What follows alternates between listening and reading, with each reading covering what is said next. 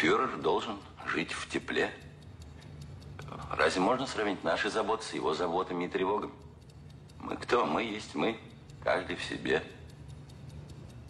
А он должен думать обо всех. Да будет вам профессор. Взбесившийся маньяк подставил головы миллионов под бомбы, а сам сидит как сволочь в безопасном месте и смотрит кинокартины вместе с своей бандой. Вы не находите?